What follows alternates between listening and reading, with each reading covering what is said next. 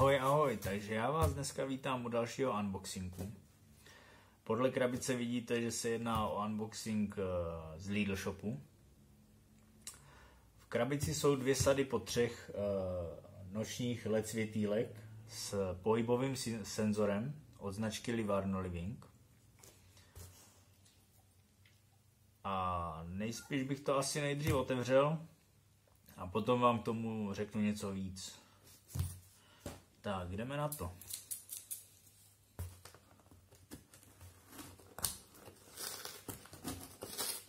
Sice nechápu, na co tak velká krabice, na pár světýlek, ale uvidíme.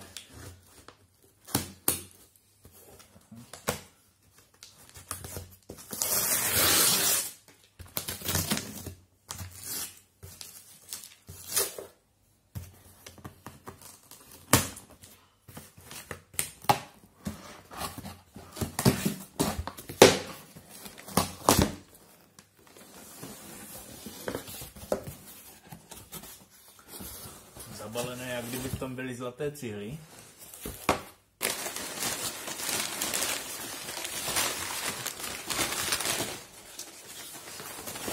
Tady máme nějaký bla bla bla, to nás nezajímá.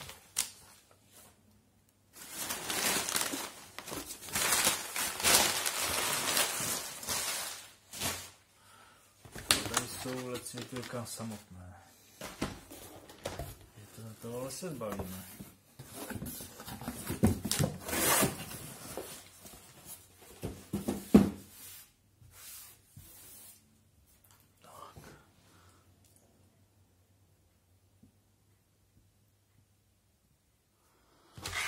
Tak, jedna sada a druhá sada. Takže jak už jsem říkal, jsou to sady po třech.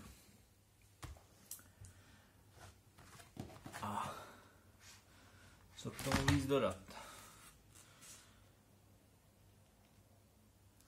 Baterie by měly být součástí, což je super, alkalické. Samozřejmě potom, až, až, až se vybíjí, tak je nahradím dobíjecíma, které kupuju z AliExpressu. Jestli máte někdo zkušenosti, napište mi, jaké používáte. Já osobně používám značku Enelon. S nima mám docela dobrou zkušenost. Tak a teď něco ještě k těm světýlkům. Takže kde máme český popis? Tady lednoční svítidla. Měli by mít hlásič pohybu. Senzor by měl mít nějakých 2 až 3 metrů dosah. A super je to, že se zapíná jen při setmění. Takže když máte doma světlo, tak nereagují a jakmile je tma, tak se sami zapínají a reagují na pohyb.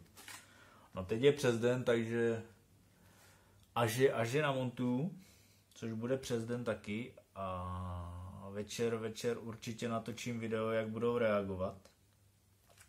Jinak, upevňují se pomocí integrovaných magnetů nebo přiloženou, přiloženou lepící páskou, což je taky fajn. Tak, jak už jsem říkal, provoz je na baterie.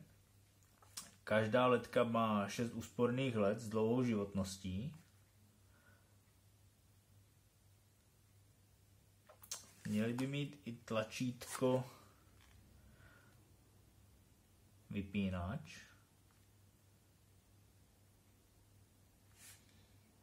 UL senzoru je nějakých 120 stupňů, což je fajn. Životnost LED světla je 20 000 hodin, což je taky fajn.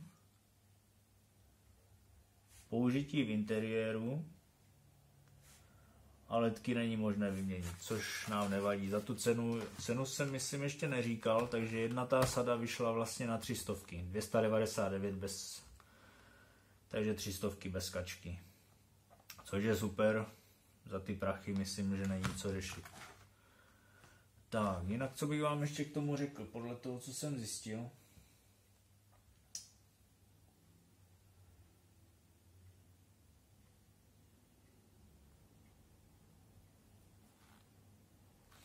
Mělo by to být asi vše, co jsem zjistil podle toho, co jsem si zjistil na netu.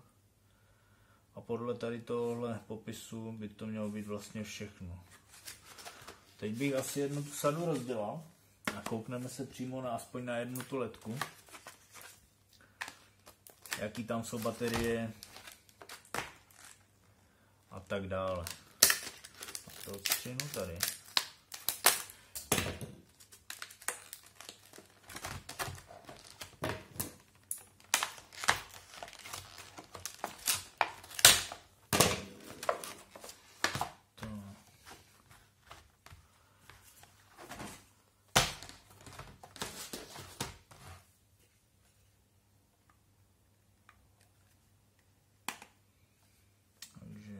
Zadní strany se to otvírá. Jak už jsem říkal, baterie jsou součástí. Tady máme pojistku proti vybití. Tady zpátky zavřeme.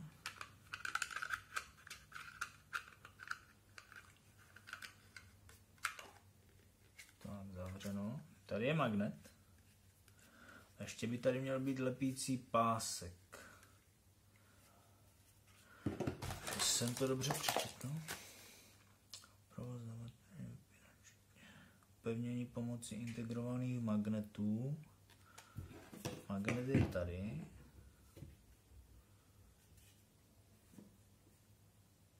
Nebo přiloženou lepící páskou. Ale lepící pásku, lepící pásku teda nikde nevidím. Zkusíme to celý rozbalit.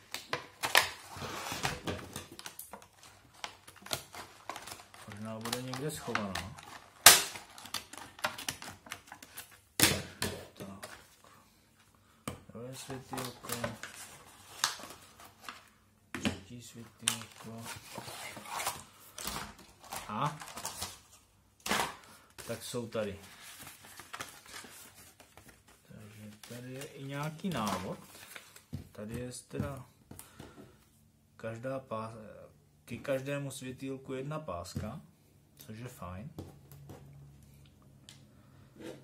Já to teda osobně budu používat asi na tu pásku, protože na dveřích, na dveřích magnety nemám.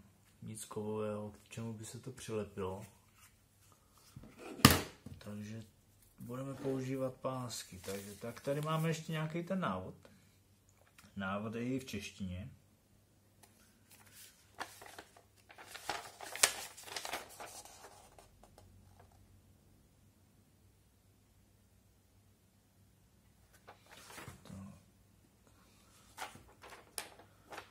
Koukneme se ještě, co, co by to mělo být na popis pro jistotu.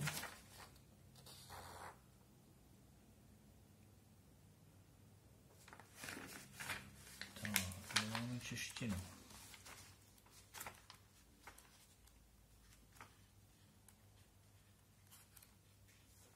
Tak, čeština je tady.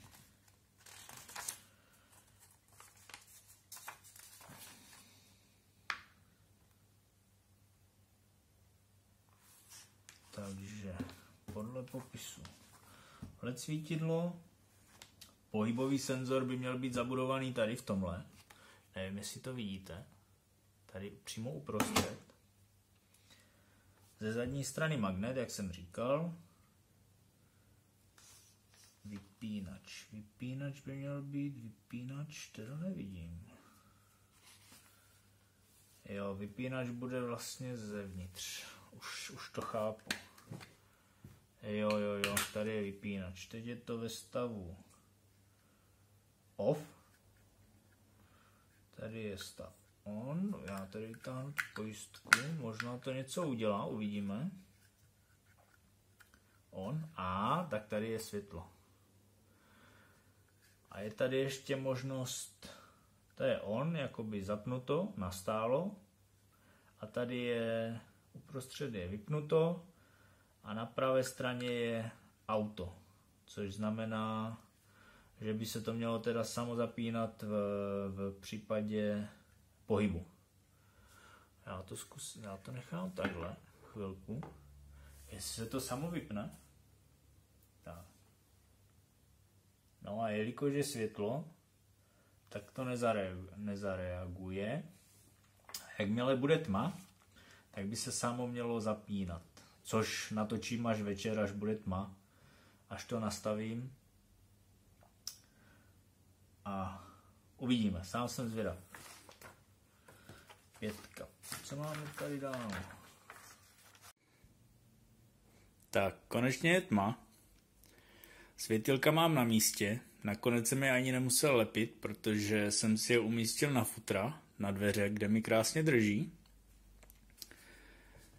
A ještě bych vám, než, než vám ukážu, jak světilka fungují, řekl eh, jednu negativní věc, kterou jsem na ty světilka našel. A to ta, že při, při vybalování druhé sady uh, jsem zjistil, že ty magnetky z druhé strany moc dobře na, na světilkách nedrží. Takže pokud je někdo, kdo by světilka chtěl umístěvat přes magnety, doporučuji nejdřív pořádně zkontrolovat, po případě magnety oddělat a přilepit pořádným lepidlem, protože lepidlo, které tam je, ne, nebude asi moc kvalitní. Tak. Jinak teďka stojím v ložnici, což eh, vidět nejde, protože je tma. A uděláme si test světýlek takový, že projdu z ložnice přes chodbu na WC. Z WC půjdu do, eh, do koupelny a z koupelny se vrátím zpátky přes chodbu do ložnice. Takže uvidíte, jak se světilka zapínají, jak reagují na pohyb a uvidíme i vlastně, jak dlouho vydrží svítit a za jak dlouhou dobu se sami vypnou. Tak, já bych vyrazil a uvidíme.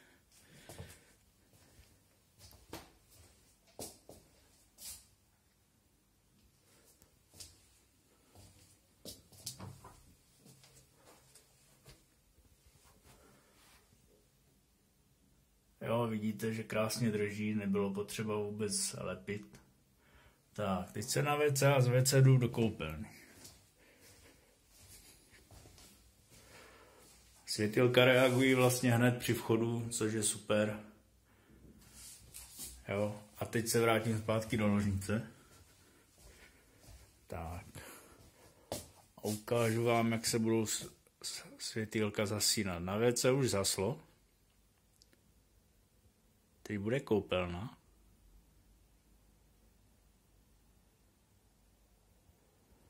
A nakonec chodba. Tak a je to.